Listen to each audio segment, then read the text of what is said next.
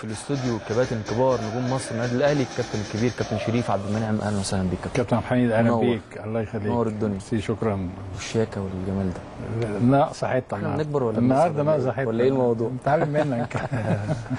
أيضا نجم مصر النادي الأهلي الكابتن خلوق جدا الكابتن المحترم أسامة عربي أهلا بيك كابتن. أهلا وسهلا. نور الدنيا. الله يكرمك الله يخليك. عامل إيه؟ الحمد لله. كله تمام؟ الحمد لله. يعني عايزين نبدأ بتساؤلات الجمهور. الجمهور دلوقتي يا ترى أحمد فتحي هيلعب back يمين يا ترى حسام عاشور هيلعب. طب لو حسام عاشور ما لعبش ممكن أحمد فتحي يلعب defender ولا هشام محمد آه عبد الله السعيد ولا مش عايزين نبدأ بالتساؤلات اللي هي دايما الجمهور بيتساءلها. حسام عاشور كابتن حسام حتى في المؤتمر من شوية قال ممكن وممكن. هل ده تصريح وأحمد الشيخ اعلامي برضو ممكن لا أحمد شيخ تأكد غيابه خالص. آه. فهل ده تصريح إعلامي للكابتن حسام؟ وهو عارف إن عاشور هيقعد وبي يعني بيلعب بيه سلاح إعلامي كده إن هو لأ ممكن يبدأ المباراه لأن هو لسه جزع الرباط آه، في الركبة أو في جزع عنده في الركبة مش عارفين هو في بص يا كابتن الماتش ده أو الماتشات اللي جاية الدور ده والدور اللي بعده إن شاء الله لما نوصل مفيش آه، ريسك أو مفيش آه، خسارة لعيب في وسط الملعب. أو خسارة لعيب يلعب ربع ساعة و10 مم. دقائق أو ما مفيش. مغامرة بلعيب مصاب مفيش مغامرة يعني وخصوصا بيبقى لعيب أساسي وم- ومهم جدا في في التخطيط حتى بتاع ماتش زي النجم الساحلي. مم. يعني ده راجل آه، مسمار في وسط الملعب آه، فمش هينفع يلعب آه، إلا يكون سليم. بالظبط. يعني ما في لعيبة كبيرة قوي ما بتقدرش تلعب وحسام ما بيقدرش يلعبها وعايز يلعبهم بس بالظبط بالظبط. إصاباته متلاحقة. حمودي مثلا على سبيل المثال لعيب كويس قوي ودايما عنده شد ودايما عنده مش مش جاهز الفورمة مش جاهزة. إنما فجأة تيجي تلاقيه هو بيجهز نفسه موجود مم. بالنسبة للجماهير بقى وكل واحد فينا بيحط تشكيل على مزاجه وكل واحد فينا بيبقى في سياق المباريات اللي قبل كده. يعني هتلاقي كل الناس عايزة جاي يبتدي الماتش. فهمتني؟ يعني كل واحد شايف إنه جاي أدى فاتت لا هم. هم بيقولوا زي ما دخل الفورمة وحاجات كده.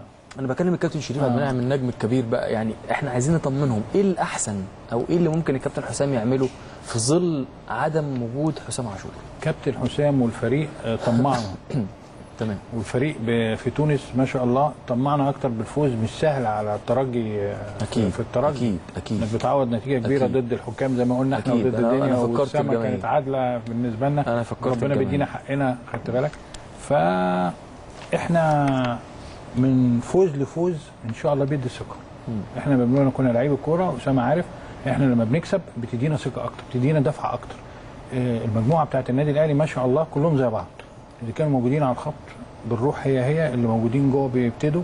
حسام عنده دايما زي ما إحنا قلنا آه، بيشتغل بلعيبة آه، على فترات. يعني في لعيب عنده 60 دقيقة أو في لعيب عنده 40 دقيقة أو في لعيب عنده آه، 25 دقيقة. يعني ما عندوش آه، ستوب في أي مرحلة. حتى لو حصل إصابات ولا حاجة تلاقيه بيبتسم وماشي لأن عنده ما شاء الله من الوفرة إن نص الملعب يقدر يسد بيه لعيبة كتيرة جدا. تمام.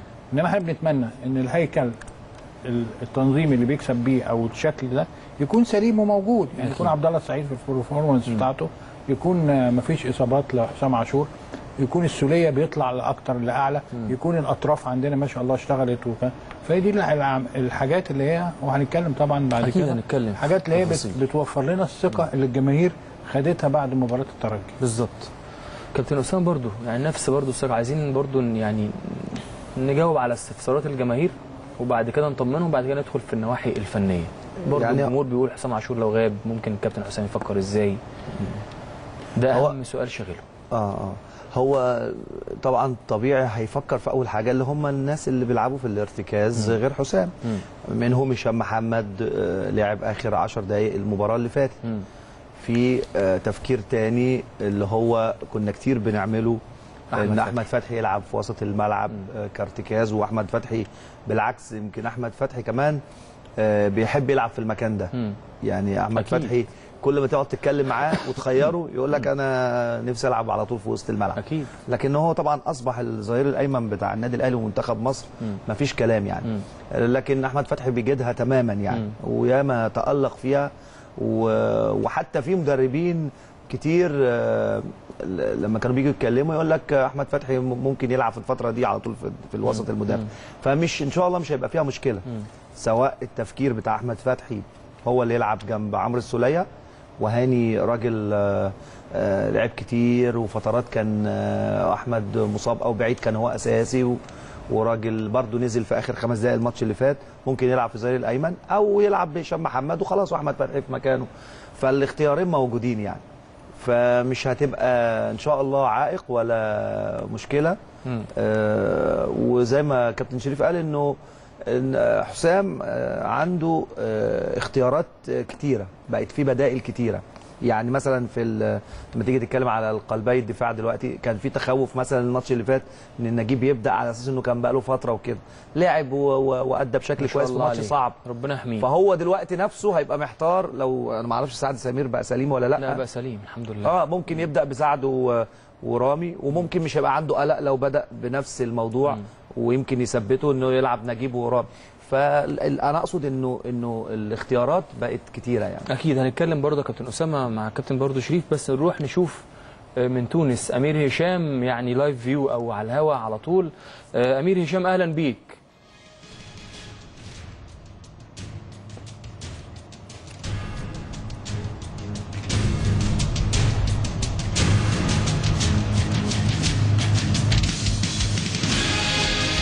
كابتن ميد وتحياتي ليك وتحياتي لكابتن شريف عبد المنعم وكابتن أسامة عرابي وطبعا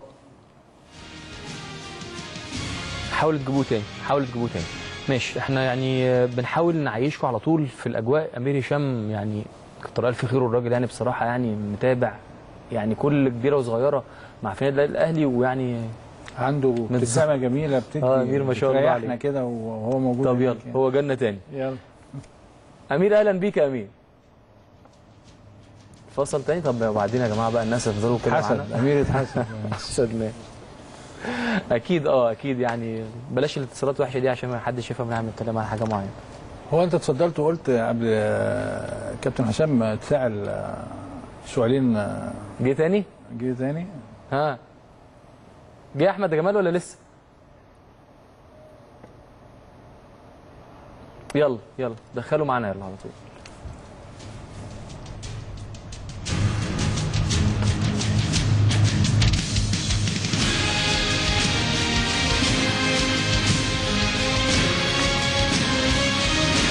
أمير سامعني يا أمير.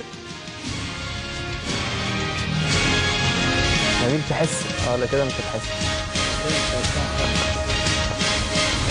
تحس إن هو اتعجبها لابس حاجة كابتن ميد وتحياتي ليك وتحياتي كابتن شريف عبد المنعم كابتن أسامة عرابي وطبعا تحياتي لكل جماهير النادي الأهلي وكل مشاهدي قناة الأهلي في كل مكان. طبعا أكيد آه، آه، استعدادات مستمرة جدا من قبل النادي الأهلي من خلال مران أخير النهارده بالنسبة للفريق. كان على الملعب الأولمبي بسوسة وهو الملعب اللي هيستضيف هذه المباراة الهامة جدا في ذهاب دور قبل النهائي من بطولة دوري أبطال أفريقيا.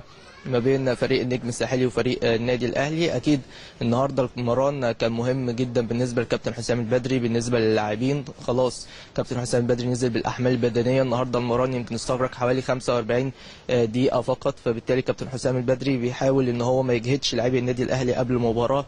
هتبقى مباراة صعبة سواء من النواحي الفنية أو من النواحي البدنية. إن شاء الله مباراة الغد أمام فريق النجم الساحلي. لكن بشكل عام كل لاعبي النادي الأهلي جاهزين. النادي الأهلي فيه آه، هنا قائمة آه، مكونة من 25 لاعب. 23 لاعب منهم جاهزين بنسبة 100% طبعا للمشاركة في هذه المباراة على حسب الاختيارات الفنية للكابتن حسام البدري والتشكيل اللي هيختاروا لبدء هذه المباراة. لكن الاثنين اللعيبة اللي مش جاهزين خلاص واللي هم خارج المباراة تماما هو آه، كل من حسام عاشور وأحمد الشيخ. حسام عاشور زي ما إحنا عارفين عنده كدمة قوية آه، في الركبة. بالتالي مش هيقدر ان هو آه، يشارك في مران أو في مباراة الغد.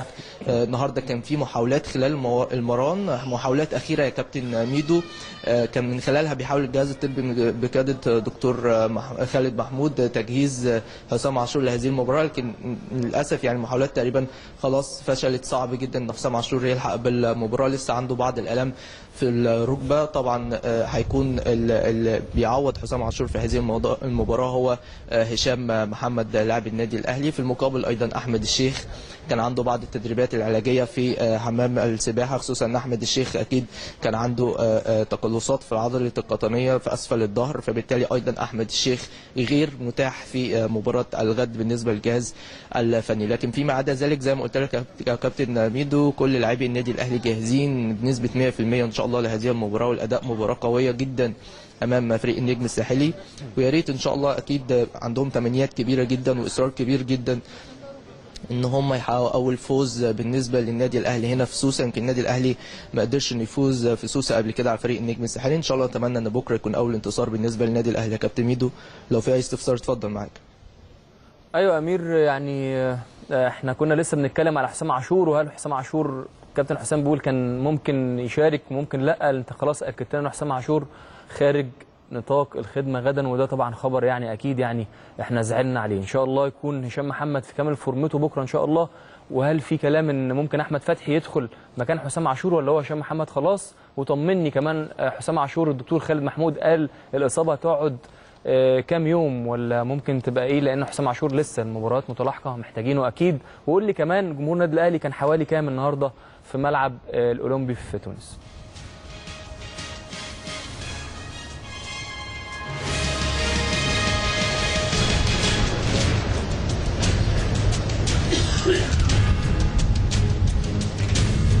طيب آه، آه، في الأول طبعا خليني أقول لك إن آه، مش أحمد فتحي هو اللي هيعوض حسام عاشور في نص الملعب يا كابتن ميدو من خلال التدريبات ومن خلال اللي إحنا شفناه بالتحديد منذ إصابة حسام عاشور. هشام محمد هو تم التركيز عليه في نص الملعب مع عمرو السولية وده بنسبة كبيرة ده اللي هيحصل خلال مباراة الغد. بالتالي هيكون في نص الملعب كل من عمرو السوليه هيجاوروا هشام محمد على على حساب حسام عاشور المصاب. بالنسبة لحسام عاشور آه، وإمتى هيرجع؟ يعني أعتقد خلال آه، أقل من أسبوع إن شاء الله حسام عاشور يقدر آه، يرجع. خصوصا إن إحنا عارفين حسام عاشور من ضمن اللاعبين اللي تم اختيارهم في منتخب مصر. المباراة المصريه جدا طبعا أمام فريق الكونغو إن شاء الله يوم 8 أكتوبر واللي بالمناسبة أكيد نتمنى تأهل منتخب مصر من خلال هذه المباراة.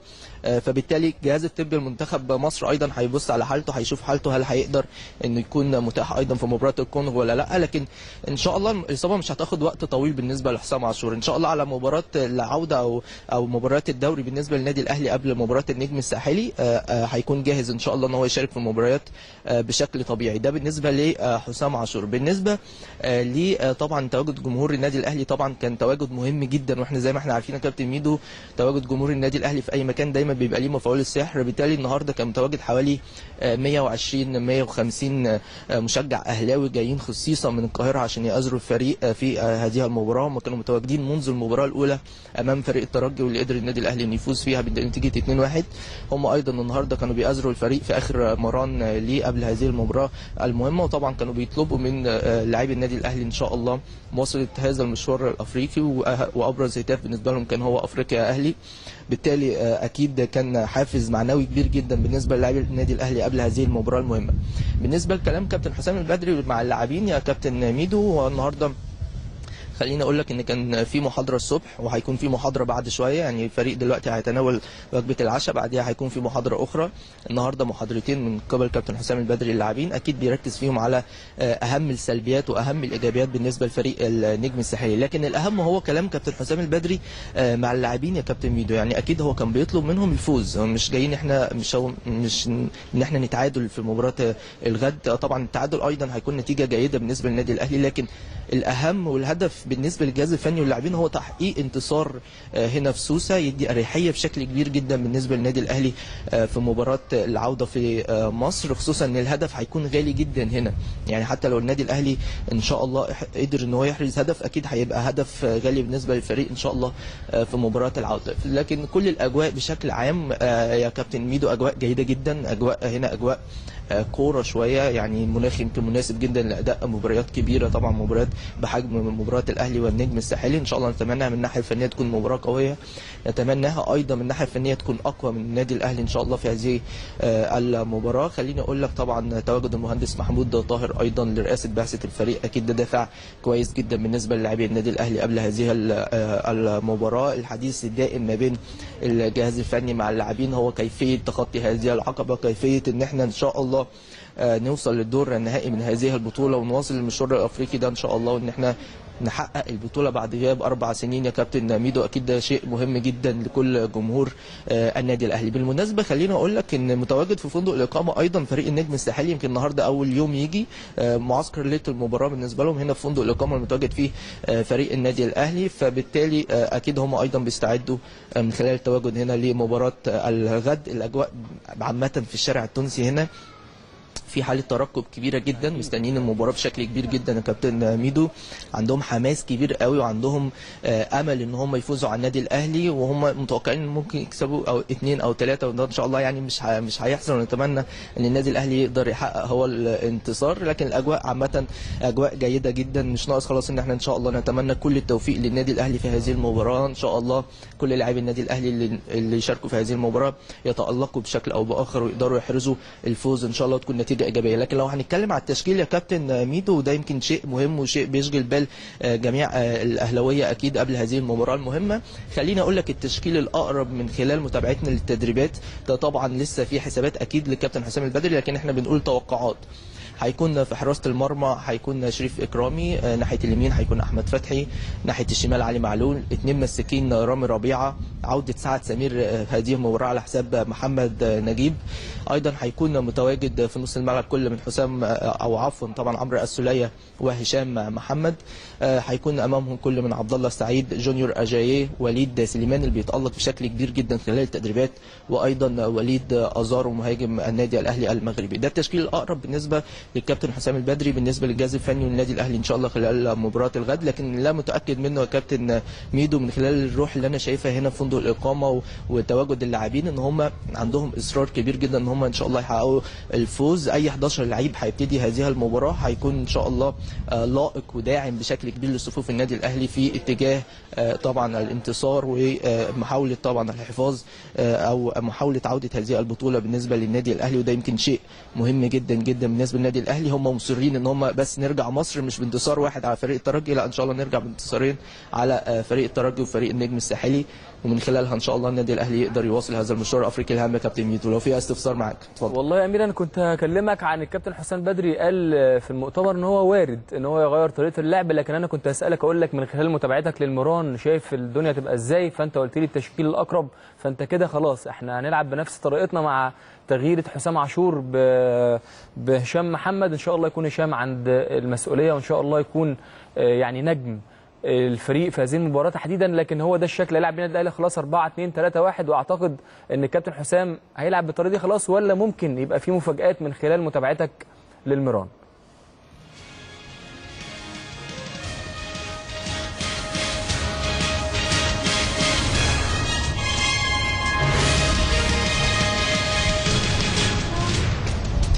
طبعا أعتقد المفاجآت يعني أعتقد غير وارده في مباريات كبيرة زي دي يا كابتن ميدو مباراة أهلي ونجم ساحلي في نصف نهائي بطولة دوري أبطال أفريقيا فأعتقد المفاجآت هتبقى محدودة شوية لكن آه، كله يترتب على حسب الفكر اللي الكابتن حسام البدري آه، ممكن يبتدي بيه هذه المباراة بالتحديد من الناحية التكتيكية. لكن آه، اللي أنا بقوله لك هو التشكيل المتوقع اللي أنا شفته خلال التدريبات بالتحديد آخر ثلاث تدريبات بالنسبة للنادي الأهلي هو ده التشكيل المتوقع. أسلوب اللعب السيناريو اللي هيعمله كابتن حسام البدري ده أكيد لسه ما نعرفوش. أكيد كابتن حسام هو اللي مرتب لكل هذا السيناريو اللي ممكن من خلاله إن شاء الله أو في خططه إن شاء الله من خلال هذا السيناريو هو تحقيق الفوز. انت بتسألني على طريقة اللعب وممكن كابتن حسام هيأدي طريقة اللعب إزاي؟ أيضا من خلال التدريبات. واضح إن كابتن حسام البدري مركز مركز على الناحية الهجومية بشكل كبير من خلال اهتمامه بلاعيب الخط الأمامي بالنسبة للنادي الأهلي. ده معناه إن الكابتن حسام البدري مش جاي هنا عشان يتعادل. كابتن حسام البدري والنادي الأهلي جاي إن شاء الله إن هو يحقق انتصار. هيبقى إنجاز كبير وهيبقى حاجة مهمة جدا النادي الأهلي يحقق انتصار هنا آه، في سوسة لأول مرة في تاريخ لقاءات الفريقين. هنا في آه، سوسة بالتحديد وملعب الأولمبي بسوسه النادي الأهلي إن شاء الله يحقق انتصار مهم على هذا الفريق. فبالتالي أعتقد كابتن حسام البدري عامل سيناريو معين شكل تكتيكي معين لهذه المباراة يقدر من خلاله إن هو إن شاء الله يخطف فوز مهم جدا بالنسبة للنادي الأهلي يا كابتن ميدو. يعني أمير شكرا جدا ليك يعني دينامو بصراحة ال- الفريق في تونس وأكيد كل الناس يا أمير بتستناك عشان تعرف الأخبار منك. إن شاء الله كل التوفيق النادي الأهلي وإن شاء الله يكون كده يعني التفاؤل إن شاء الله على وشك إن شاء الله وعلى وش كل لاعيبه النادي الأهلي وكابتن حسام والجهاز الفني وكل الموجودين في تونس إن شاء الله النادي الأهلي قادر إن هو يعني يتخطى مثل هذه العقبة كما تخطى عقبة الترقي اللي كانت يعني عقبة جامدة جدا وصعبة جدا. النادي الأهلي بفضل ربنا وفضل جمهوره وفضل لعيبته وفضل كل الرجالة اللي فيه تخطوها آه، على أحسن ما يكون. كنا اتكلمنا آه، قبل كده يا جماعة إن مفيش بره وجوه خلاص. الموضوع قرب قوي خلاص. يعني إحنا اتعادلنا في ملعبنا في برج العرب في وسط جمهورنا 2 2 وطلعنا كسبنا هناك الحمد لله يا رب. فما عادش فيه من أول مباراة الأهلي وبيدفست لما كنا في الاستوديو هنا وقلنا الأهلي كسب 1-0 يا جماعة والدنيا ما فيش مشكلة خالص والناس طلعت زعلت مني لكن هي دي الحقيقة. الكورة اتغيرت وخريطتها اتغيرت والكورة اتطورت. خلاص مفيش بره مفيش جوه مفيش ملعبي وملعبك. بقى الموضوع صعب قوي. تكسب هنا بتكسب هنا. الموضوع يعني مفيش فيه كبير فعلا في الكورة. كابتن شريف يعني أمير قال التشكيل الأقرب. أعتقد إن إحنا كمان جاوبنا على كل الأسئلة اللي شاغلاكم خلاص أحمد فتحي back right هشام محمد مكان حسام عاشور. نفس التشكيل مع اختلاف أجاييه من البداية. في سعد سمير مكان- أو سعد. آه آسف. سعد مكان نجيب. طبعا يعني شايف ممكن فعلا كابتن حسام يبدأ بكده من خلال التدريبات. أمير متابعها بقاله ثلاث أيام؟ مع أدام أمير قال كده خلاص. أمير راجل هناك. إيه رأيك في التشكيلة دي؟ أنا أنت عارف ده اسلوبي أنا آه. يعني أنا بحب إن أنا أخلص بدري بدري فاكر يا أسامة؟ نعم. كنا عايزين نخلص بدري بدري في صالح جمعة ناحية الشمال أو أجاييه. ن- وبعدين نرجع بدل ما نرجع عايزينهم آخر 40 دقيقة طب ما نبتدي. وإحنا الهدف من المباراة كله هدف. يعني أنا عايز أروح تونس آه، أكسب بهذا المكسب الترجي. ما شاء الله جبنا جولين وضيعنا ثلاث أربع تجوان. آه، بكرة إحنا الهدف منها هدف. مم. هدف يكسر آه، فريق بجماهيره بالظبط. يهدوا معنويا. يهد نفسيات الأجهزة الفنية خارج الخطوط مم. ويديك أنت معنوية أعلى ولاعيبتك تقدر يا اسامه تلعب تاك تاك الباص السليم ال- الراحة النفسية. تلاقي أحمد آه، فتحي ده مش هتعرف بقى هو بيلعب back right ولا في نص الملعب ولا بيغطي على مين ولا مم. هتلاقي لعيبه بال power الهدف اللي هنجيبه إن شاء الله. مم. ولو فكر حسام البدري بهذا الشكل يبقى الحقيقة تفكير آه، كويس قوي مع احترام المنافس يعني دايما حسام بيحترم المنافس. هو في المؤتمر يا كابتن شريف عشان آه. اكد على كلامك قال سلبيات وإيجابيات. هحترم قوي آه، نقاط القوة وهلعب على نقاط السلبيات الضعف. بالظبط. بالظبط فالنجم الساحلي كمان من الفرق اللي هي بتحترم المنافس قوي. مم. الحقيقة مم. يعني بيعرفوا آه، يكونوا موجودين في الملعب في كل الخطوط. يعني أنا بحس بالفريق من خط آه، نص الملعب والديفنس بتاعهم والفراودة. ومن أقوى حاجة عندهم ما شاء الله التغلغل اللي بيعملوه من ناحية الأطراف واللعيبة اللي عندهم تلعب في الفراوده. بيعرفوا يخشوا منطقة الجزاء ويتعاملوا ويقدروا يحرزوا اهداف فده اللي إحنا ما بنتمناهوش بكرة غير إن إحنا نبقى مركزين تماما زي ما كنا مركزين المباراة اللي فاتت. إن شاء الله. كابتن اسامه برضو رأيك في ال- في التشكيلة اللي قالها أمير؟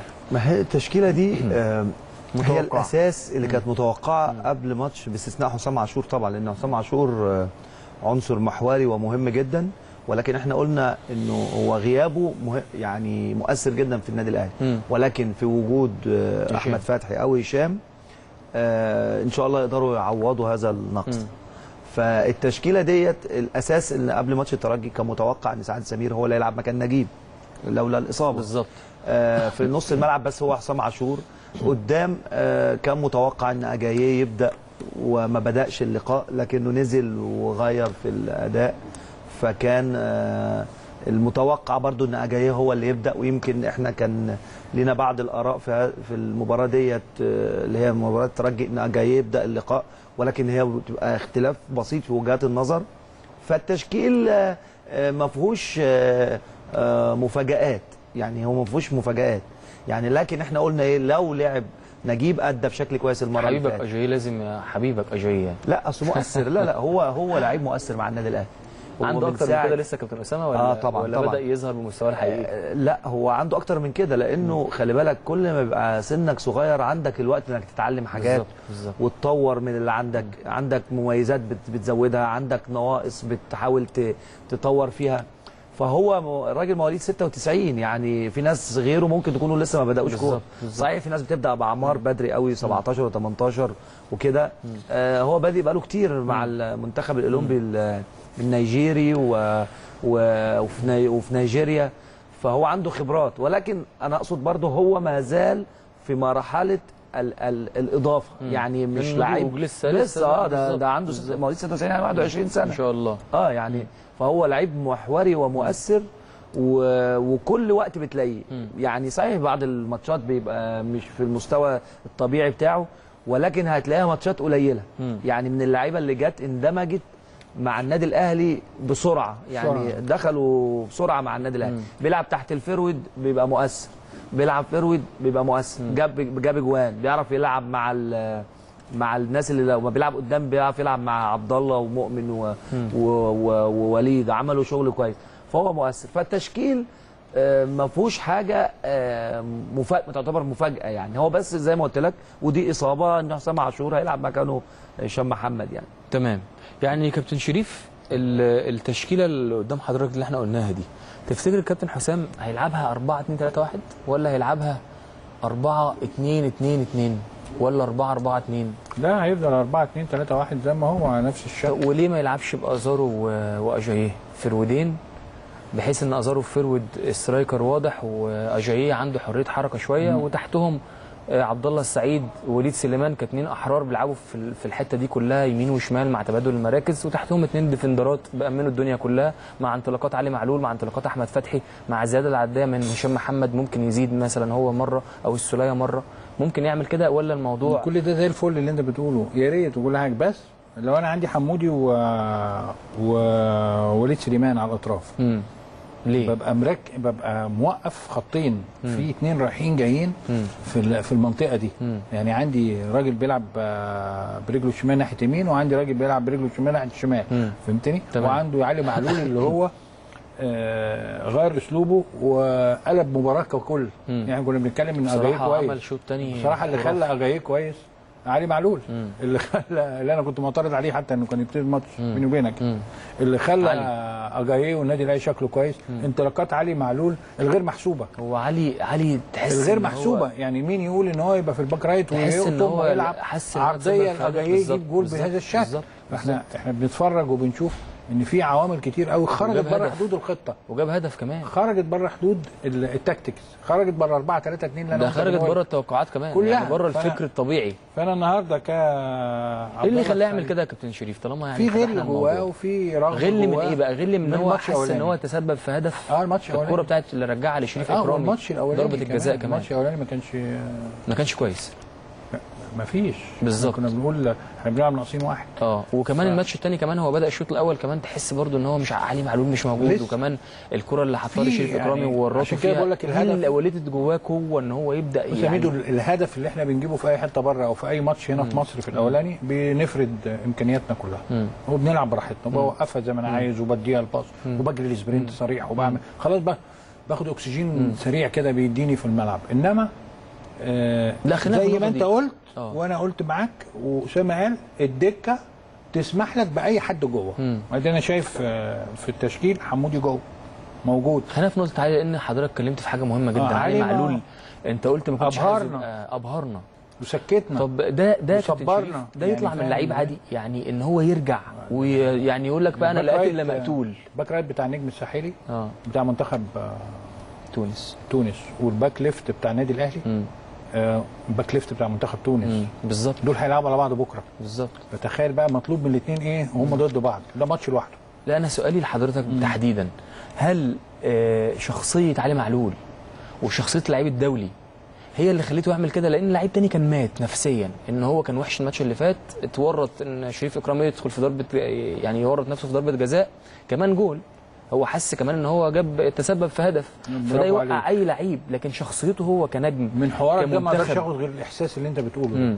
إن أنا حسيت إن أنا آه ناقص في أول مباراة والمباراة دي كمان تسببت في لا دي الحكاية وهو الراجل آه عنده كورة كويسة شاركنا كابتن أسامة آه خد بالك يا أسامة عنده كورة كويسة قوي وبيقدر و- قال لك أنا قادر إن أنا أجري وقادر أعمل وقادر. أعمل عرضيات. وأنا وأنا أسلوبي أصلا أنتوا جبتوني هنا والناس الجماهير حبتني في مصر وحبتني من خلال ما اتفرجتوا عليا بالظبط. مع فريق تونس والكلام من ده. آه طبعا. هو علي آه، لعيب آه، مميز وبالذات في النواحي الهجومية. آه، بيعرف يعمل آه، كرات عرضية خطيرة جدا سواء آه، عاليه أو على الأرض. في ماتشات كتيرة مع النادي الأهلي. آه، منطلق تملي للأمام. يعني هو عنده الناحية الهجومية عنده نوازع هجومية واضحة. لكن الماتش ده كمان تفوق على نفسه بالذات الشوط الثاني بعد الغلط اللي حصل منه آه، وانطلق بقى بحرية غير طبيعية. حتى إحنا شفنا الجون الثاني من الناحية اليمين آه، يعني عملها بوش رجله خارجي غير آه، متوقعة يعني, يعني, يعني غير متوقعة إنه يجري في المكان ده لأنه ممكن آه أنا ك half بتحرك من الشمال مثلا أروح ناحية اليمين. تحرر صعب. جدا back left نفسه. يروح ناحية الجناح اليمين عشان يلعب. حاسس ف- إنه عنده فهي طبعا جواه عايز يطلعه. آه طاقة طلعت آه، يعني طيب، إحنا وجاب جواه جول. يعني. ده إحنا ناسيين إن هو اللي جايب جاب جول الجول طبعاً. يعني. إحنا. معانا سياده السفير آه، السيد السفير سيد نبيل حبشي السفير آه، المصري آه. بتونس. أهلا وسهلا بيك يا فندم. أهلا كابتن بالصحه إن شاء الله تكون بخير وبكرة إن شاء الله نبارك إن شاء الله. ربنا يخليك. كل سنة حضرتك طيب الأول يعني وش حضرتك حلو؟ إحنا كنا يعني شفناك قبل ماتش الترجي وكان كلك يعني ثقة وتفاؤل وحاجة جميلة يعني شفناها منك يعني.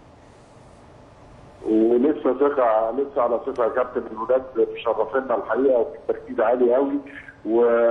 ولسه على ثقة وإن شاء الله ربنا يكرمنا بكرة. أنا بس يعني عاوز أقول لحضرتك إنه يعني كذا كذا نقطة سريعة أنا عارف يعني مش عاوز أخد وقت. اتفضل لا اتفضل اولا الاستاد هيقفل بكرة الساعة 5 امم ما فيش حد هيعرف يخش بعد الساعة 5 حلو. عشان بس جماهير النادي الأهلي اللي موجوده يا ريت لو حضرتك يكونوا سامعيننا يعرفوا إنه الساعة 5 الدخول. النقطة الثانية يا فندم إنه كل من يحمل باسبور مصري سيدخل المباراة بدون أي تذكرة مفتوحة للجمهور المصري بشرط إثبات جنسيته المصرية. حلو قوي دي آه، نقطة مهمة. أنا برضو بوجه يعني آه، نداء من من من شاشة النادي الأهلي للجماهير أرجو بس الالتزام بالسلوك الراقي اللي إحنا عارفينه. كمان دي آه، وبلاش موضوع الشماريخ ده لأنه هيفتشوا جامد قوي مم. المرة اللي فاتت حصل مشاكل وطلعنا ناس من يعني مراكز الشرطة والكلام ده كله. فنرجو إحنا بكرة بسوسه فحتى يعني صعب التواصل هناك غير لما يبقى في تونس العاصمة. أكيد. بيرجع معامله بالمثل هنا كمان. يعني والتشجيع بعد إذنك يا كابتن برضه بلاش يعني إيه آه، آه، حاجات اللي هي مخلة. إحنا برضه بنلتزم وإحنا عندنا سلوك آه، راقي. فبترجى بس إن التشجيع يبقى يعني التشجيع الرياضي اللي إحنا معتادين عليه من النادي. امم تمام يا ست السفير. آه، وصلت المعلومة ان شاء الله هننوه ليها تاني بعد ما أقفل مع حضرتك. حضرتك آه، هتبقى متواجد في الملعب بكرة ولا حضرتك في تونس العاصمة؟ طبعا. لا متواجد ومع أعضاء السفارة هنتحرك إن شاء الله وهنروح نحضر المباراة. وبرضه هأشرف على إنه يعني ال- النواحي الأمنية تبقى متظبطة وهي متظبطة بالفعل. الحقيقة في في يعني آه، مساعدة وتجاوب كبير جدا من اعضاء يعني أو المجلس اداره وادي النجم الساحلي وكذلك من وادي مدينة موسى كل طلباتنا اتنفذت الحمد لله. إنما أنا هكون موجود من بدري إن شاء الله مذاكر للإشراف على التسجيلات النهائية إن شاء الله. وبرضه هتواجد في الفندق إن شاء الله يعني يعني بدري إن شاء الله. فهتواجد في الفندق لتشجيع ويعني حفز اللاعبين إن شاء الله. طب أنا هسأل حضرتك بقى يعني هنبعد شوية بقى عن عن سيادة السفير ونتكلم عن ال ال يعني المشجع الكروي. يعني حاسس إيه بكرة؟ إن شاء الله في المباراة وشايف المباراة تكون إزاي بكرة إن شاء الله شوف يا كابتن بصراحة في في حالة من الحشد الجامد قوي آه، في الشارع التونسي في عشان المباراه وفي نفس الوقت في حالة برضه من التيقن إن إحنا لو ما خلصناش الماتش مش هيخلص ابدا من برج العرب. فلازم يجب التنبه لكده ويجب برضه في رأيي أنا مش مش فن يعني والجامعة أنتوا يعني اساتذه إنما يجب برضه عدم المغامرة. الواسعة يعني واخد بال حضرتك بكرة. أنا أعتقد انه برضه لأنه في زي ما قلت سيادتك في حشد جامد جدا. في آه، آه، عملية إن إحنا لازم نخلص بكرة علشان لما نروح هناك هن- مش هنعرف نخلص فيبقى إيه يبقى رايحين مستريحين. وأنا أعتقد إنه برضه أكيد يعني مش محتاج أقول إنه كابتن حسام باله الحكاية دي. وأكيد عامل خططه على هذا الأساس يعني. أكيد. يعني سيادة السفير نبيل حبش يعني بشكر حضرتك جدا على مداخلاتك وعلى تعبك وأكيد والتنظيم اللي حضرتك منظمه في تونس ويعني كل الشكر لحضرتك وده المتوقع يعني من سيادة السفير المصري في تونس. شكرا جدا لحضرتك. يعني أنوه على أبرز النقاط اللي قالها سيادة السفير آه، نبيل حبشي قال إن الاستاد هيقفل بكرة الساعة الخامسة تماما. يعني مفيش دخول بعد الساعة الخامسة. قال إن الجمهور الأهلاوي الجمهور المصري عموما اللي رايح يستند الأهلي هيدخل بالجواز المصري فقط لا غير. قال كمان إن مفيش داعي لاستخدام الشماريخ لأن الموضوع صعب جدا وحصل مشاكل وإحنا بنلاعب ماتش الترجي أو في ملعب آه، آه، في ملعب آه، فمش عايزين نعمل أي حاجة بكرة يا جماعة إحنا عايزين نطلع يعني في منتهى المثالية. طبعا خايفين عليكم جدا لأن بيقول في إجراءات مشددة والمفروض إن هو مش هيبقى فيه نفس المساعدة كما كانت في تونس. سوسة غير تونس فالموضوع هيبقى صعب شوية. فنرجو يعني الالتزام من حضراتكم حضراتكم كلكم التزام وكلكم يعني رجولة وإن شاء الله الصوت الواحد فيكم بمليون صوت بكرة إن شاء الله. كل التوفيق ليكم. وكان نفسنا نبقى معاكم كمان في قلب هيخشوا. بالهوية كمان بس آه بالظبط يعني. بالجواز دي حاجة عايزين إن كويسة شاء الله يبقى المعاملة بالمثل في مصر يعني آه أكيد شاء جميلة الله. جدا طبعا يعني. طبعا حاجة جميلة جدا يعني كمان آه، سيادة السفير قال حاجة مهمة جدا يا كباتن قال يا كابتن أسامة كابتن شريف قال إن إن في حشد جماهيري واسع قوي إن هم يخلصوا في الماتش ريفنج من ماتش في الترجي يعني. في سوسة طبعا يعني بس هو يعني النقطة اللي هو اتكلم فيها سيادة السفير آه، موضوع ال- الجماهير والشماريخ وكده نرجو الالتزام بالموضوع ده لأنه يعني كويس إن أولا حتى في مصر إحنا نتمنى الموضوع ده ينتهي. إحنا الدول العربية يعني المفروض آه، آه، يعني في النهاية مباراة كرة قدم المفروض نلتزم بالسلوك ما نطلعش بره ال- السلوك التشجيع ال- المثالي يعني. مفيش داعي آه، يعني نعمل حاجات آه، تخرج آه، بره تقاليد. العرف الرياضي أكيد. أكيد. وبعدين بيضطر إنه المسؤولين يتحملوا حاجات المفروض هم مش عايزين يخشوا فيها في مشاكل فنتمنى إن شاء الله الجماهير تبقى ملتزمة يعني بالنسبة للحشد الجماهيري أكيد وخاصة اولا في مواجهات كبيرة جدا بين النجم الساحلي والأهلي تسع لقاءات ستة تعادل اثنين. مكسب هنا. واثنين مكسب. هنا فما بالك بقى إنه إنه النادي الأهلي خرج الت- الترجي التونسي ودي يمكن رابع مرة آه، فريق يخرج من النادي الأهلي في ملعبه سواء الصفاقسي سواء الترجي أكتر من مرة النجم الساحلي قبل كده. فما فيش شك هيبقى في حشد كبير ولكن ده ممكن يجي بنتيجة عكسية. يعني ممكن أحيانا لما الحشد بيبقى زيادة عن اللزوم أكيد. لو اللعيبة آه، خبراتها قليلة شوية آه، هو طبعا عندهم خبرات ولعبوا في إفريقيا كتير ولكن آه، ممكن جدا ال- ال- ال- الموضوع ده لو علي شوية عن زيادة عن اللازم أو علي شوية الضغط حاصل على اللعيبة نفسها. طبعا ممكن تخليه متوتر مستعجل لما واحد بيروح للجمة بي- بيبقى متوتر اللي بيدافع ممكن يجي يغلط وهو بيطلع الكورة فممكن تيجي بنتيجة عكسية. والنادي الأهلي عنده من الخبرات إنه يقدر يتعامل في مثل هذه المواقف يعني. أكيد. كابتن شريف برضو في نفس السياق. أنا بتمنى طبعا الالتزام في كل شيء أنا ده أنا حابب أنا حابب بيدينا. حظ كمان وبيدينا شكل و- واللعيبة حتى بتحس بيهم في الملعب. اللعيب المصري بيحس بجماهيره في أكيد. الملعب وبيشوف إن يعني مش عايز اشوشر على لعيبتي في الملعب.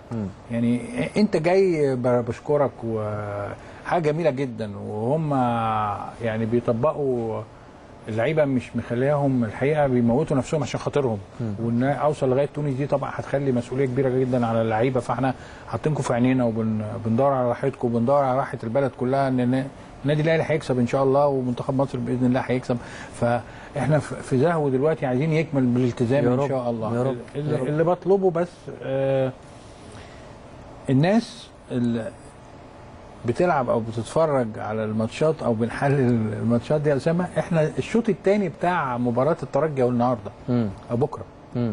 ده الشوط الثاني بتاع مباراة الترجي. مش إحنا هنا شوط أولاني وفي مصر شوط. ثاني لا ده أنا ال- الحاجة الجميلة اللي الولاد عملوها عملوا لنا حاجة جميلة قوي لازم يتوجوها وهم راجعين من تونس. يكملوا الفرحة اللي عملوها من تونس يا رب. يعني يا ريت اللعيبة تقدر وربنا يوفقهم بكرة اسامه إن هم يجوا بنتيجة مرضية جدا بكرة لأن ده هتبقى فرحة بجد جايين مبسوطين المجهود اللي عملوه والتعب اللي تعبان يعني تعبوا جدا في الرحلة أكيد، دي على ما أعتقد. آه قاعدين في تونس ما سافروش ورجعوا تاني بس ده تعب و... وفي ضغط عصبي عليهم ومطالب كتيرة قوي لل... للنتائج ولتحقيق إن أفريقيا يا أهلي أفريقيا يا فبإذن الله ال- ال- الماتش يخلص بكرة بإذن الله وعن طريق بإذن الله إحراز هدف وده يبقى مفهومنا زي ما أنا حاسس إن هو مفهوم حسام البدري. يا رب. يعني كلام مهم جدا. قالوه الكباتن يعني كمان الكابتن شريف قال الشوط الثاني وإحنا في تونس كده وقعدنا واستحملنا وقعدنا معسكر هناك كامل ما كانش متوقع لكن إن شاء الله كل التعب ده ما يروحش. يعني هباء وإن شاء الله يرجعوا إن شاء الله بنتيجه إيجابية مهما كانت بقى نتيجه إيجابية تعادل سلبي تعادل إيجابي النادي الاهلي كسبان إن شاء الله إن شاء الله يفرحونا وهم راجعين وكمان يتمموا الفوز ويأكدوه هنا في برج العرب بإذن الله. نطلع فاصل ونرجع نواصل مع الكباتن الكبار كابتن شريف وكابتن أسامة. خليكم معانا.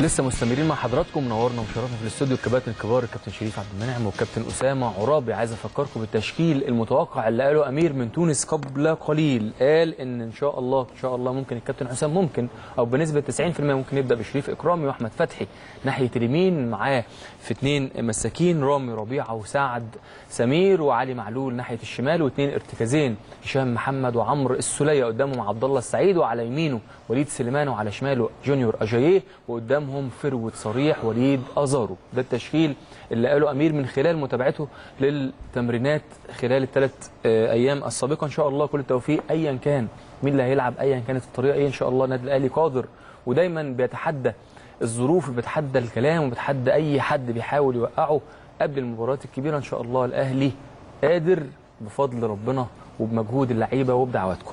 كابتن أسامة عرابي يعني لو حضرتك موجود في وسط اللعيبة دلوقتي ممكن تنصحهم تقول لهم إيه؟ يمكن أنا لسه كنت بتكلم مع كابتن شريف وإحنا في فترة الاستراحة.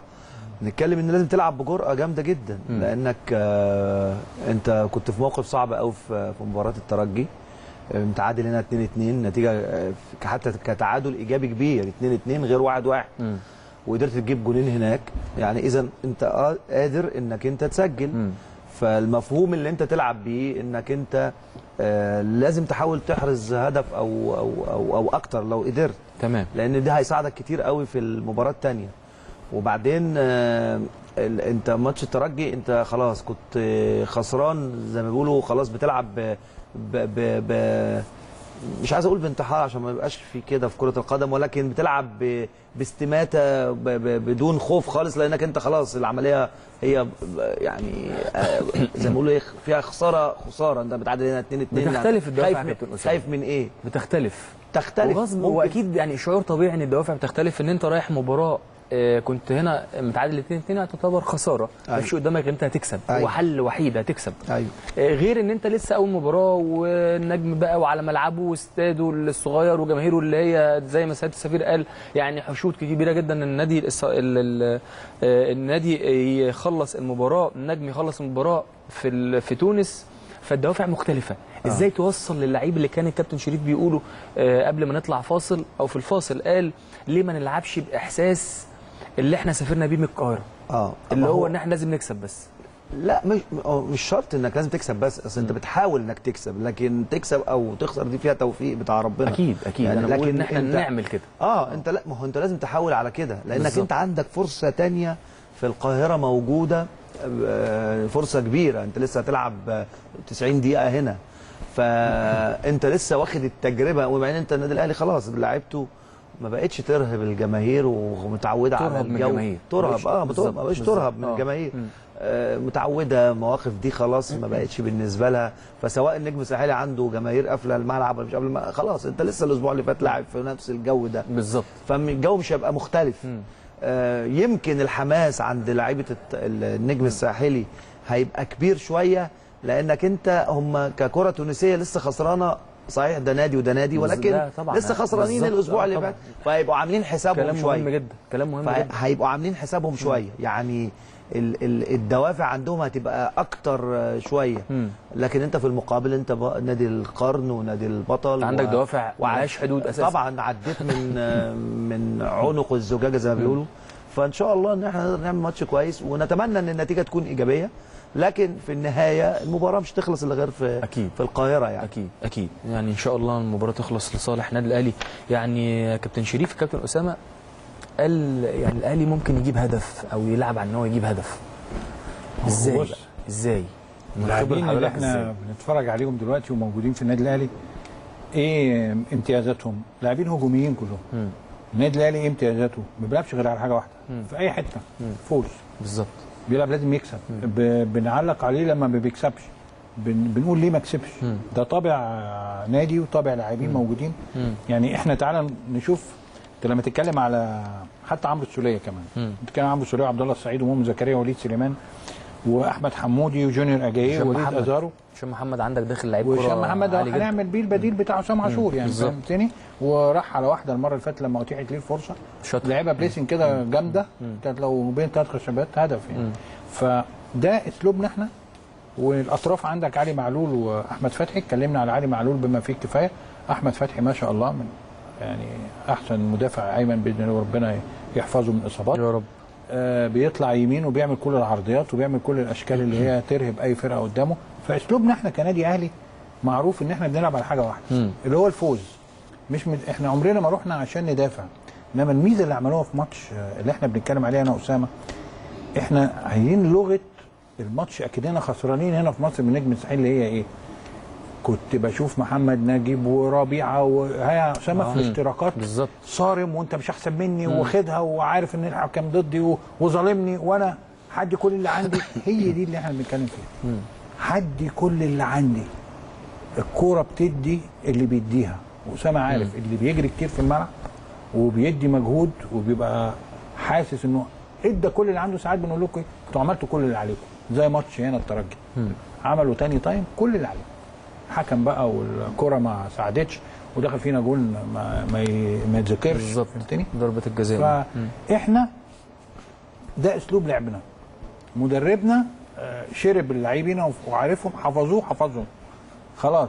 الإصابات بتجرى له أو بتحصل في أي فرقة في العالم. إصابات وبنعمل إحلال وتبديل. ما شاء الله قلنا. لغاية آه، من أول آه، محمد نجيب لغاية متعب كله زي بعض. ما شاء الله. فإحنا الحتة دي عايزين نوضحها للجمهور. لعبوا. لأن ده أنتوا بقيتوا زي ريال مدريد وبرشلونة وبتاع. نتائجكم في العالم كله بتثبت إن أنتوا أصحاب قدرة إنك أنتوا تحافظوا على البطولات تروحوا اليابان وتروحوا فدي عندكم فرص. امسكوا فيها وانتوا اللي عملتوا فينا العملة دي. كان زمانكم رجعتوا خلاص. يعني أنتوا اللي عملتوا العملة الكبيرة دي في تونس برضو.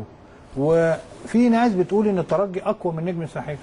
إحنا كلاعبي الكورة عشان فاهمين إن النجم الساحلي ساعات بي بيكتف الماتش وعنده حتتين كده يقدر يسرقك في through pass ناحية الشمال وتتلعب عرضية وواحد يجي من ورا مش واخد بالك. إنما التركيز اللي عمله الدفاع كله من أحمد فتحي ونجيب ورامي ربيعة وعلي معلول المرة اللي فاتت. التركيز في الهجوم والارتداد والتغطية على بعض. يعني كنت بشوف لأول مرة آه، السولية بيغطي ناحية ال- الباكات لما بتطلع. بالظبط، وبشوف حسام عاشور موصل نفسه آه إنه يستقبل أي حاجة بترد علينا عشان ما تبقاش counter attack. وكانت قليله قوي علينا الحاجات دي. مع إنهم لعبوا مباراة عالمية الترجي في الباص. عملوا علينا باص أول time هو اللعيبه أنا قلت فظيع. عندهم أنا ما كنتش متخيله عندهم. احتفاظ بالكرة كنت- حاجة كنت عالية جدا. أقل آه، ميدو أنا ما كنتش شايفهم. كنت عندهم- عارف إن الاثنين ال defender اللي ورا اللي في النص أضعفهم. فالحمد لله إن إحنا آه، ربنا وفقنا في المباراة دي. بس كان في مفهوم في المباراة خرجنا منه إن اللاعب إذا أراد الله أراد معه. يعني بي- بيديله قوه فيه وبيدي كل اللي عنده. هو ادي كل اللي عنده. يا رب بكرة اللعيبة بعد ال... أنا مش هقول ال- الراحة اللي حصلت بعد الترجي بعد كل اللي حصل بعد ماتش الترجي يكونوا ال performance عالي قوي يا بتاعهم رب. والثقة عالية جدا على غرار ماتش الترجي. يا رب يا رب.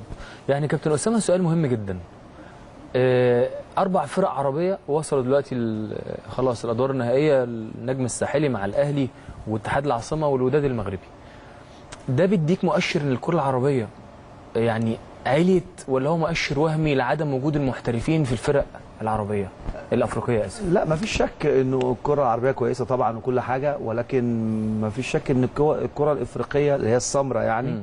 تأثرت بال- بالمحترفين. مم. يعني كابتن شريف عاصر الفترة ديت وأنا عاصرتها. آه تقريبا تس- 95% من لعيبة إفريقيا كانوا داخل القارة. بالظبط. لما كنا بنلعب مثلا كوتوكو في غانا. أنت بتلعب منتخب غانا. كانت ماتشات كنت بتلعب آه، الرينجرز في نيجيريا. أنت بتلعب منتخب نيجيريا. تلعب كانون ياوندي الكاميروني. لما تقول الأسامي كان بيكو وأومان بيكو هم هم لما تيجي منتخب مصر لعب منتخب الكاميرون. لكن في السنين ال ال- ال 15 20 سنة الأخيرة أو بالذات في ال في العشر سنين الأخيرة هتلاقي مثلا الكاميرون فيها 200 300 محترف. يعني انت ما بتساعدش الصف آه الأول. لعبنا ميلا وما كانش محترف. آه يعني بالظبط ما- كده. هو عبيدي بيليه وعبيدي بيليه لعبناه وما كانش. لعبناه. بيلعب في فرقة اسمها وعرف دراجونز جورج وايا كمان لعبناه. جورج وايا. آه يعني فأنت بتتكلم نجوم عالمية. آه، تلاعب نيجيريا قصدي تروح تلعب الفرق النيجيرية تلاقي 200 300 لعيب في نيجيريا بره في غانا. ولكن الفرق العربية إلى حد ما هي أقل فرق في عدد المحترفين اللي في الخارج. ما دي حد ولذلك أنت بتلاقي النادي الأهلي فيه 9 10 12 واحد من منتخب من النادي الأهلي. تلاقي في في النجم الساحلي التونسي أو الترجي سبعة ثمانية مثلا في الترجي منتخب تونس.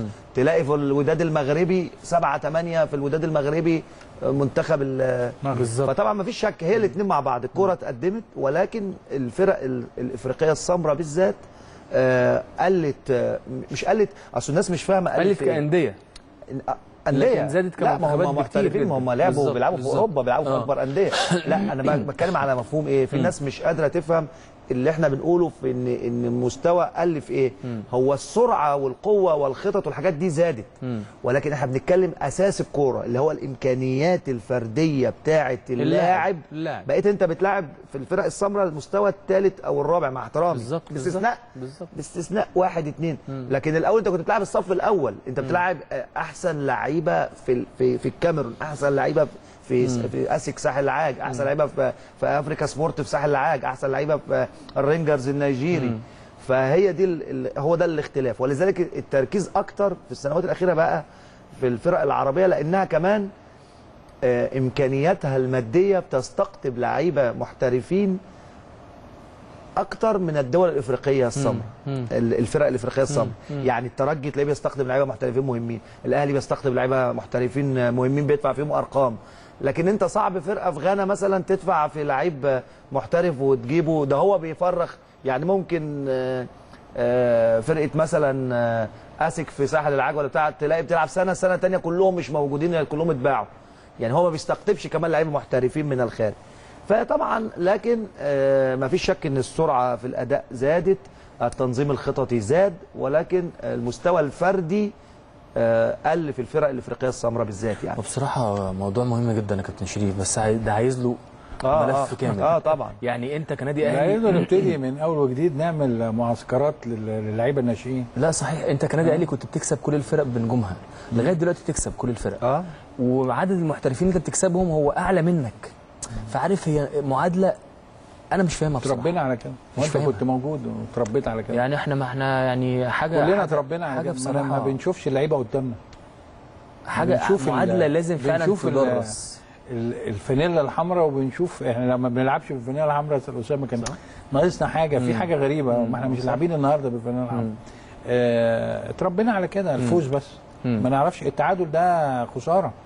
لما كنا بنتعادل وإحنا مروحين إحنا أكيد خسرانين طبعا أكيد مش أكيد. كسبانين. أكيد. عشان كده الروح دي بس اللعيبة عشان كده بقول لك عملوا عملة كبيرة قوي في الترجي هناك. مهما كنا عندنا تاريخ قبل كده ومهما كان عندنا آه، إنجازات قبل كده كسبنا تونس في تونس كده. إنما ال- الواقع إنك تعيده تاني. وبشكل آه، أقوى من ال- جاي متعادل 2 2 يعني. وتعيد هنا وتكسب 2 1 ده ده إعجاز. يعني بكلمك بجد في الكوره ده يعني أنا ما شفتش غير ماتش ريال مدريد اللي كسبوا 2 1 بايرن ميونخ وجي بايرن ميونخ كسبهم في ريال مدريد 2 1 هو ده اللي يوازي الكلام اللي إحنا بنتكلم. وكانت حالة تعادلية. إنما إحنا ما شاء الله الله أكبر آه، بنحقق المعادلة الصعبة دايما في كل عام عشان كده بقول لك ومن بعد الماتش أنا وأنت قلنا كان معانا محمد فاروق برضو الكابتن حسام قلنا له وكان معايا شادي باين قلت له آه، ابتدي من آه، من ساعة ما الحكم آه، صفر في ماتش الترجي. ابتدي انت خارج عامل إزاي وشكلك عامل إزاي وفرقتك عاملة إزاي؟ وروحك ورايح على. الجون مضيع وليد ازار واحد انفراد لو خد الجون يمين أو شمال يا ريت يعني. يا ريت يكون اتفرج على نفسه وعرف أكيد. إن في حلول في الانفرادات. يعني دي حاجات برضو يا ريت اللعيبة بتتفرج علينا. إحنا عندنا دلوقتي يكونوا بيشوفوا قناه الأهلي فيها إيه أكيد- أكيد. فإحنا الكابتن بنتكلم وراهم. أولادنا وإخواتنا صغيرين إن هم إيه، ناخد برضو بعض الحاجات اللي كانت من مباراة الترجي النجاحات والسلبيات برضو. مم. مم. أكيد يا كابتن. يعني يعني بكرة يعني بكرة هيكون علي معلول تحركاته اسامه محسوبة. طبعا. حتة الانفلاتية إحنا كان خس- كان خسران في مصر. إنما هنا هتبقى الدنيا محسوبة بالنسبة له. هيركز بس في حاجتين اتعلمناهم من المدربين الأجانب كلنا إن لما أروح بواحدة ألعبها مظبوطة قوي يعني أركز في الكورتين اللي ربنا هيديهم لي أو في الثلاث أربع كور اللي هتنسح ليا الفرصة إن أنا أقدر أودي بيها فرقتي للجول. أبقى مركز تماما وشايف كويس قوي ودخول أزارو أزارو وأجايه بحسابات واحد بيخش والتاني على الأولانية والاولاني على البعيدة يعني وفي سبورتنج من عبد الله السعيد. هو ده إحنا طبعا نقول زي ما إحنا عايزين كده وإحنا قاعدين كويس حالة اللعيبة البدنية هي إن شاء الله توصلهم للفوز بكرة. أكيد يا كابتن أكيد يعني الموضوع آه، في خيارات كتير جدا للكابتن حسام. الله يكون في عونه بصراحة كابتن اسامه مباراة مصريه مباراة كل الناس بتستناها كل الأنظار عليه هو كمان كمدير فني وعلى اختياراته وعلى طريقته. هيلعب إزاي بكرة؟ هيلعب بالشكل الطبيعي بتاعه. 4 2 3 1 لكن المهام المطلوبة من اللعيبة إيه؟ ده السؤال اللي حضرتك آه هو هيلعب 4 2 3 1 لأن هي دي الطريقة اللي خلاص النادي الأهلي خلاص بقى بيجهز. بيها كده لكن المهام مختلفة بيجهز. ولا بص هو هي- المهام هي. المهام المهام بتبقى بصفة عامة في أي فرقة آه، الخطوط العريضة كلها بتبقى واضحة بتبقى واحدة. مع الماتشات ولكن في حاجات تفصيلات صغيرة ممكن تحصل. في في تغييرة في لعبة في ضربة ثابتة في في مثلا تعليمات إن إن فلان النهارده بلاش زي ما شريف بيقول انطلاقات كتيرة ما تبقاش كده لأن إحنا كان. في مجازفة يبقى محسوبة. آم، آه، لما لما لما لعبة معينة تحرك بيها مثلا عبد الله من من من من اتحرك على الشمال أكتر فتحرك النهارده ناحية اليمين أكتر عشان تاخد نظر واحد. لكن بتبقى حاجات بسيطة لكن الخطوط ال- العامة ما بتجيش تتغير آه، من ماتش لماتش في كل حاجة. ما يقدر ما فيش مدرب يقدر يعمل كده لأنك أنت خلاص انت أنت بتشتغل مع الفرقة طول السنة. في أمور ثابتة ليك في أمور ثابتة واضحة للعيبة أنت شغال بيها. بس في مهام بت- ما بتأكد مهام عليها ما أنا. بقول لك في مهام بتبقى حاجات بسيطة. يعني مثلا أنا أنا وأعتقد إن اختيار سعد بكرة لأن مثلا مرعي عمرو مرعي آه، زي ما بيقولوا بيقولوا بلغة الكورة معفرت. يعني يعني اللعيب ال- في فيرويد بيبقى زي مثلا كابتن مثلا خطيب لما كان موجود هو في تقل في الحركة يعني بيتحرك في ال 18 بحرفية قوي أو عماد متعب لكن عمرو مرعب من من الفراودة اللي هو النوعية الثانية اللي هي بيسرق. إيه. بيقعد عارف اللي بيقعد يجري عمال على بطال في أي حتة ويضغط على ده ويجري يخبط في ده؟ عنده حسن كده أول ما يعني. طلع. مشاكس كده. أيوه. حسن حسام حسن أول ما طلع كان بالشكل ده لغاية لما بدأ ي... فأعتقد ده ده عنده الاسلوب كورة كويس. الأسلوب ده- بيعرف يروح للجول الأسلوب ده كان ممكن ممكن. أنا ما برضو نجيب لعيب تقيل وكل حاجة لكن ممكن سرعة آه، سعد سمير ورامي أكتر. يعني عايز آه، هو عنده خفة حركة في الجري في الجري. هو ما هو هو تركيزه أكتر في الكرات العرضية اللي هي براسه لكن متحرك متحرك متحرك متحرك ويطلع كتير على الأطراف ويطلع فممكن يكون سعد سمير ورامي عشان كده عندهم خفة حركة أكتر. فدي بقى في تغيير في المهمة انه إنه مثلا ياخدوا بالهم انه إنه حركته كتيره مثلا. آه، عندهم هم في في جبهات. يعني هم عندهم آه، بيلعبوا بأربعة اللي قدام اللي هو عمرو مرعي راس حربة وبنجورة وأمين الشرمتي وحمزة الأحمر يعني زي هنا 4 2 3 1 تقريبا. فهو هتلاقي أزارو آه، آه، أزارو هو راس الحربة مش مش اتنين راس حربة هتلاقي أزارو هو راس الحربة الأساسي.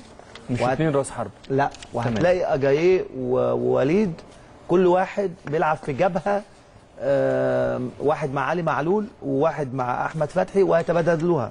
ليه؟ لأن هم برضو آه، عندك ال back right مثلا بتاع تونس اللي هو حمدي النقا- النجاز ده آه، قدام آه، قدام معلول. معلول. علي معلول, معلول، آه. وقدامه اللي هو بنجوره ده اللي هو 13 الإفريقي متحرك. فما يقدرش يخلي اتنين على واحد على طول على على معلول. على معلول أكيد. فلازم هتبقى في جبهة. هتلاقي وليد يا إما هو اللي ناحيته يا إما. آه، أجاييه هو اللي ناحيته. ف- فأجاييه ووليد مع عبد الله السعيد الثلاثه هم اللي هيبقوا تحت. آه، أزارو. أحيانا بقى هتبادلوها بقى ان أز- إن اجاييه لما يروح راس حربة أزارو مثلا ياخد الطرف شوية لكن ما أعتقدش إنه هيلعب كاتنين راس حربة كده في ال... في الأمام على الاثنين قلبي الدفاع يعني. فهيلعب بالطريقة الطبيعية ولكن المهام هتبقى في حدود ال... ال... ال... النقاط القوة والضعف اللي في الفرقة الثانية يعني. تمام تمام. تعال نروح شوية لل- لل- للنجم الساحلي يا كابتن شريف وندخل آه. آه في دماغ المدير الفني. ممكن يبدأ المباراة إزاي؟ والله أنا حاسس إن هو بكرة آه، حاسس النادي الأهلي جاي بحماسه كبيرة جدا من مباراته مع الترجي. فأنا لو مكانه هي- هيبتدي الماتش ببطء شوية. أنا مش حاسس إن هو هيضغط عليا من أول الماتش. أنا حاسس إن العكس إن حسام هيحاول يضغط وي... ويسلبه أهدافه إن هو يعمل باص سليم. يعني إن أنا أوقف. خصوصاً الملعب- بكرة إن أنا أمنعه من. الباص السليم عليا. الملعب يساعدك في الضغط لأنه ملعب مساحته مش مش بعيدة. آه بس ما ده مش بعيد أنا لعبت على الملعب ده. بس ملعب آه، أرضيته كويسه وحشيشه كويس. يعني تقدر تجاري الكرة عليه سليمة. هو إحنا إزاي نعطل المنافس على أرضه إن إحنا ما نسمحلوش بال- بالمسافات؟ إن هو يقدر يعمل كورة في مسافة يقدر يعمل منها سبورتنج للأجنحة بتاعته أو الدفاعات اللي هي. بتقدر بتكمل. فإحنا بنحاول نخلي الميس باص كتير عنده. فال miss pass عنده يعني counter attack عليه. يعني بي بيرهقه يا أسامة في ال- أنت عارف يا أسامة كنت بتلعب في نص الملعب. بترهق, بترهق في إنك أنت ترجع ترد وقبل ما بتلمها وعايز تبتدي أنت هجمة تاني وبعدين تيجي يحصل عليك ضغط تاني. تشتيت. ده وده من أسلوب حسام البدري دايما في تونس. لو نفتكر الماتش اللي وليد سليمان جاب فيه جون و- وجده. ما ده كان أسلوب ضغط وكان من أحلى مباريات اللي لعبها حسام غالي في حياته يعني. فكان أسلوب ضغط وعدم ارتياحية للفريق اللي قدامنا إن إحنا نخليه باص كويس. فهي دي الحتة اللي إحنا بنلعب عليها بكرة. فهيبقى في جس للفرقتين. فرقتين كبار مش مش قليلين إن هم يوصلوا للمرحلة دي قدام بعض. ده وصل بمكسب وده وصل بمكسب. ده وصل بمعاناة وده وصل بمعاناة. فأنا حاسس إن الماتش بكرة هيبقى فيه جس لمدة 10 دقائق كده مع بعض. اللي هينجح فيها إنه يروح الناحية الثانية وياخد كورنر وياخد ضربه مباشره طبعا أنا مش عايز أتكلم على الحكام. أنت دايما بتقابل في الأرض المنافس إن الحكم بيبقى 70 30 يعني إحنا أنا حاسبها كده دايما. يبقى معاك 30% و70% بيتلكك لأي حاجة حوالين ال- لو لمست أي لعيب وما أعرفش إيه، هو شايف إن ممكن اديها له بيديها له. فإحنا عايزين برضو ننوه عن الحكاية دي إن إحنا بقى لنا ماتشين ثلاثة دلوقتي من مصر هنا لماتشين تونس. مهريين في القصص دي فخلاص يبقى عندنا النفسية بتاعتنا والثقافة بتاعتنا إن إحنا نستحمل. بلاش آه، نتعصب بلاش آه، نفقد أي لعيب في المباراة الجاية. آه، عايزين خلاص فهمنا. سلاحنا إحنا إيه؟ الجري في الملعب وإن إحنا نوقف أي تفكير مدرب منتخب تونس آه، نجم إنه يقدر يعمل آه، one two عليا يروح سهل عليا. آه، بدكك زي ما بيقولوا فرقتي بتبقى لعيبة جنب بعض بتغطي على بعض خط الضرب في تغطية من السولية في تغطية من هشام محمد في بحسس اللعيبة بتاعت الفراوده وال defense بتاعي إنه محمي. أهم حاجة إن أنا بحسس بكرة سعد سمير و مرام ورامي إن هم محميين من نص الملعب. أكيد. إن هشام محمد ده حد جديد وجه جديد دخل معانا إنما لعيب كبير قوي. بيعرف ياخدها وبيعرف يرقص وبيعرف يباص بيديني الثقة. لو هو عملوا كده إن شاء الله ونجح في الحكاية دي أعتقد إن أي خطط إحنا هنتكلم عليها بالنسبة للنجم الساحلي مش موجودة. أنت بقى بختك يا أبو خالد مع عمرو مرعي زي ما بيقول أسامة بيفلت من واحدة ويروح على الأطراف زي ما بيعمل كده. اتفرجت عليه في الماتش الليبي. آه شفته. آه عنده ثقة شوية عنده بكرة هيلعب قدام آه مصري قدام مصر. يعني آه اللعيبه فاهمة بعض. فهتبقى برضو آه، حاجة لطيفة جدا إن أنت عارف إن ده بيلعب إزاي. إنما لما بلعب على واحد غريب أنا ما اعرفوش بتبقى صعب عليا شوية. ممكن يفاجئني. إنما إحنا اعتقد زي ما هم حافظين عمرو بيلعب إزاي. آه لعبوا قدامه ونحب. نشوف عمرو برضو في المنتخب بإذن الله لعيب كويس وبروميسنج و... أكيد أكيد. إن شاء الله ربنا يوفقه. بعد ماتش الأهلي إن شاء الله. بإذن الله بعد ما نكسب بكرة إحنا. يعني كابتن أسامة آه، ما توقعتش إن الكابتن حسام ممكن يبدأ بثلاثة في نص الملعب؟ آه حتى في ظل غي- غياب حسام عاشور عاشور في ظل غياب حسام عاشور صعب لأنك أنت كده هتضطر تحط نوعية تانية من اللعيبة مش موجودة دلوقتي ليه؟ أص- ليه؟ لأنك أنت لو كان حسام عاشور موجود كان عادي إنك هتلعب ب- بعمرو مثلا وحسام و- و- و- وهشام مثلا مم. لكن دلوقتي في غياب حسام هتحط الثلاثه إزاي ما هو يبقى هشام محمد آه، defender اللي هو ال defender الأساسي وعلى يمينه أحمد فتحي وعلى شماله السوليه آه بس كده هيبقى نحط بقى محمد. يعني بقول لك آه بس هو كده هيبقى عمل تغييرتين أو ثلاثة في خط واحد. هو مش هيبقى عايز دي. يعني مش هيطلع أحمد فتحي من ال back right ويلعبه defender وينزل هشام محمد آه، في في ال defender. يعني هيجيب اثنين ما, ما, بيلعبوش. فهو يكفي إنه يغير في خط واحد. فأنا أعتقد إن هو كمان آه، غير دي كان ممكن يلعب كده. بثلاثه يعني في في قلب وسط الملعب. ولكن انت كسبت الترجي اللي هو في موقفك كان أصعب بهذا الأسلوب. آه. وبقالك كام ماتش لعبت حتى ما لما لعبت مع الوداد لعبت كده برضه. برافو عليك. فمش هيغير. يعني إيه اللي في يخليه في المشهد الصعب. آه فإيه اللي يعملها كده. فإيه اللي في هيخليه المشهد يغير الصعب لا إحنا لا مش المشهد اتنين. الصعب. لا ده ما كانش لا المشهد الصعب هو الكابتن حسام كان لازم يعمل كده. هناك؟ ما كانش عنده خيارات. في هنا هناك في آه تونس. في في تونس إحنا اتفقنا مع بعض إن هو هيخطف هناك الماتش يعني؟ بالظبط هو كان لازم يعمل كده مش هيعمل مش هيقابل بثلاثه في نص الملعب وأنت عايز تكسب لكن هو بكرة عنده خيارات يعني ممكن لا والله إذا ربنا ممكن. كرمنا بكرة إن شاء الله وجبنا هدف ممكن يلجأ لثلاثه في نص الملعب ممكن. آه لا إحنا حتى كتير جدا سواء إحنا مع بيلعب مستر 3 مانويل- 5 2 لو كده. ما. حتى مع يعني مستر مانويل جوزيه أو مع خمسة مارتن. اتنين. ساعات كنا بنلعب أنا قصدي ثلاثة إن هو كان كان فرصه في الترجي يعني لسه الماتش أنا بيقول لي بيسوقك فرصة في. الترجي. يعني فرصه ما تكاد تكون معدومة هي فرصة واحدة معلش، بس بس لكن برضه بكره عندك فرص. أيوه بس ممكن برضو في الترجي كنت أبدأ ممكن أنا بقول لك ممكن. كنت تبدأ بثلاثه في وسط الملعب وبتمشي مع الماتش لغاية وقت معين. ما هو مش شرط انك انت عشان لازم تكسب لازم تبدأ ب 4 2 3 1 لا. ولكن أنا بتكلم على نوعية اللعيبة اللي موجودة. بالظبط. اولا هم خلاص حافظين بعض في الشكل ده. ثانيا هو عشان يغير بالشكل ده في عدم وجود حسام هيبتدي يدور على الثالث مين. وبعدين آه، خلي بالك ال ال ال ال- الحتة اللي هتواجه حسام شوية فيها بعض المشكلة ولكن دي هتتحل بوليد سليمان وعبد الله سعيد وأزارو إن هشام وعمرو السوليه ما عندهمش ال ال التمركز قوي آه، في الدفاع قدام المدافعين. يعني لعبهم ميال أكتر إن هم هو آه بيتمركزوا ولكن. بيحبوا بالزيادة. يلعبوا قدام أكتر شوية. يعني, يعني هم اللي هم اللي يروحوا لقدام كميه بيلعبوا لقدام. كمية الجري ال- أو أو حماية المنطقة اللي في قدام آه، رامي وسعد. اللي كابتن شريف بيتكلم عليها. اللي كابتن شريف بيتكلم عليها هتبقى محتاجة آه، تركيز. وقفة كو... تركيز وقفه كويسة لأنه الماتش آه، ممكن ما ينتهيش في الأول خلي بالك من دي. الماتش ممكن جدا. أنا شفت ماتش ال- ال- النجم الساحلي والاهلي طرابلس.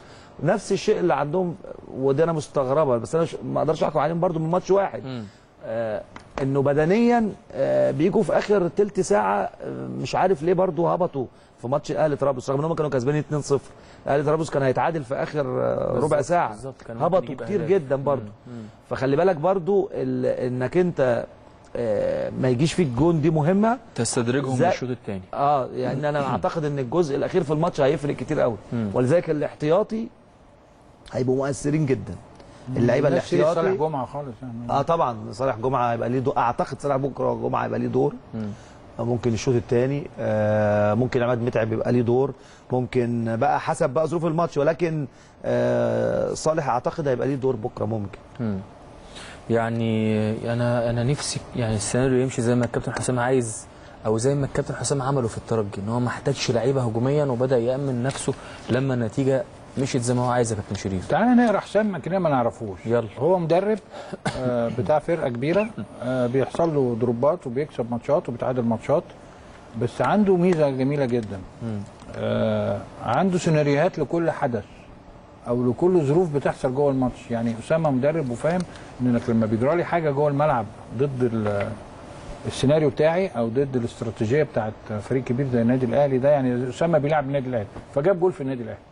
النادي الاهلي دايما عنده استراتيجية كبيرة قوي إنه يعوض ويكسب. اثنين وثلاثه إزاي بيحصل الكلام ده؟ مم. بيحصل إن المدير الفني زي ما إحنا قلنا وإنتوا اتفضلتوا وقلتوا عارف إمكانيات كل لعيب. زي ما اتكلمنا على صالح جمعة دلوقتي وبنتكلم على حمودي كمان. عارف بياخد من كل واحد قد إيه؟ يعني مش مش بي...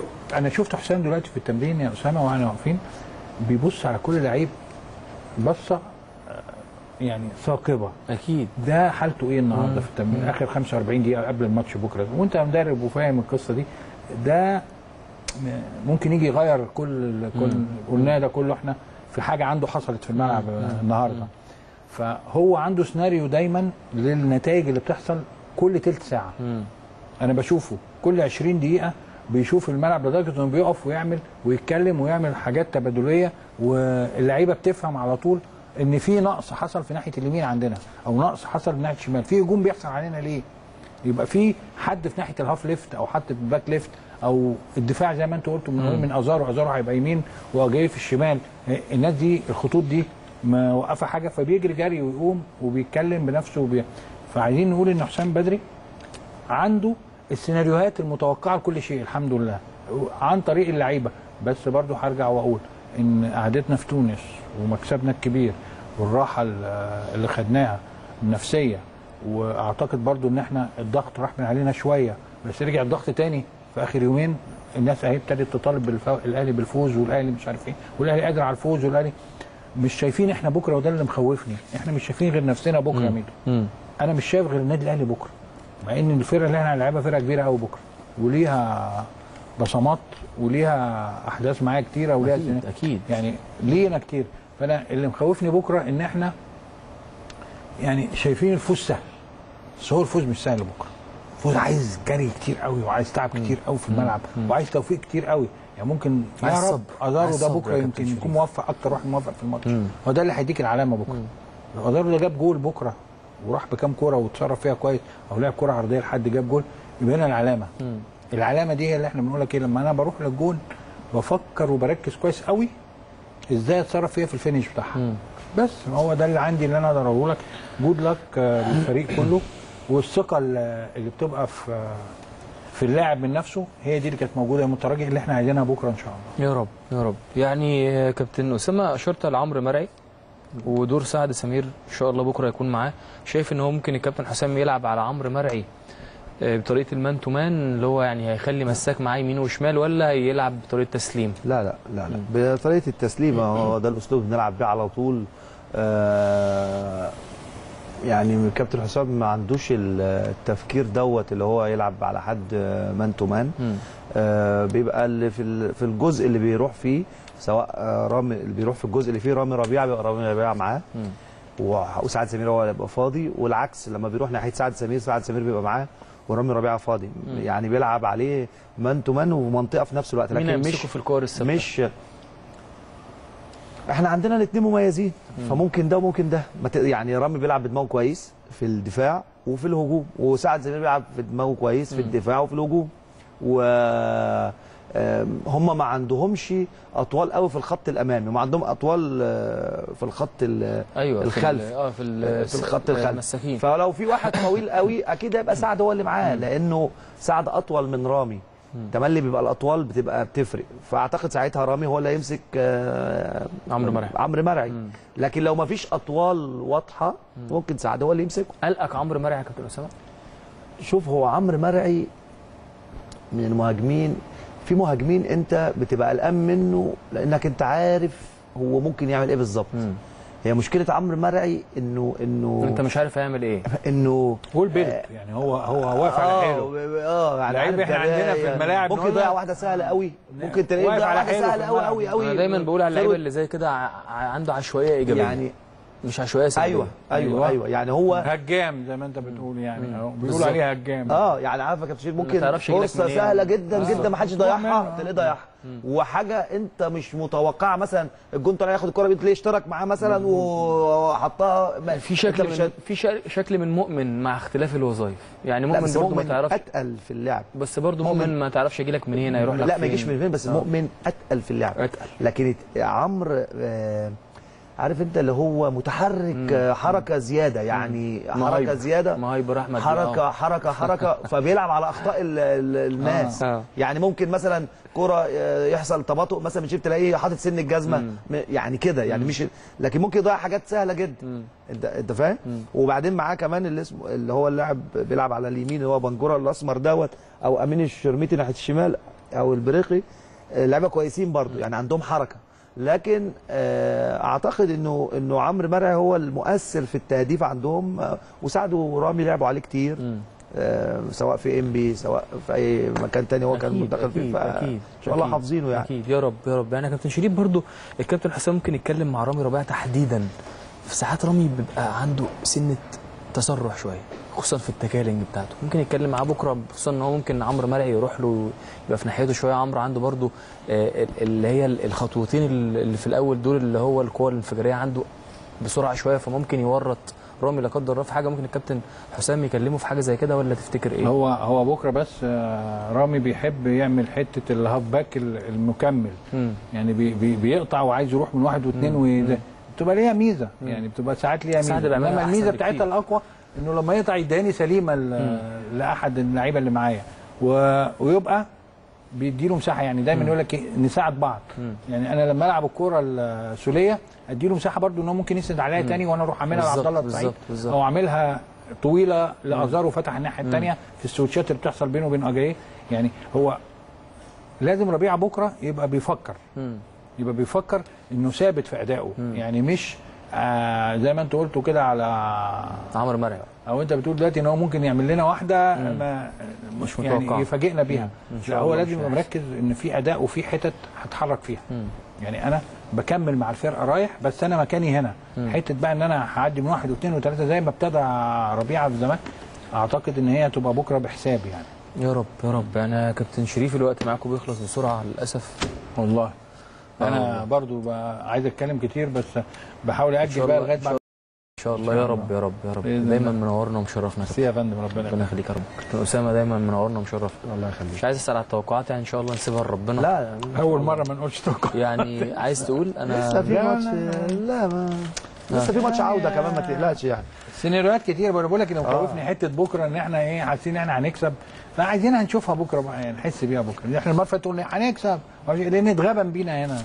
ده بقى حتة لحمة حمراء هنقابلها جديدة بكرة يا إن رب شاء الله. يا رب يا رب. كل التوفيق إن شاء الله للنادي الأهلي بكرة ورجالته. دي كان أول فقرة معاكم النهارده. إن شاء الله نطلع فاصل عشان نستقبل ضيوفنا الكرام. أحمد حسن استكوزا النجم الأهلاوي. السابق معاه أحمد عادل النجم الأهلاوي أيضا السابق. عشان نسألهم نشوف كمان يعني تجاربهم مع النادي الأهلي الأفريقية. فاصل واستنونا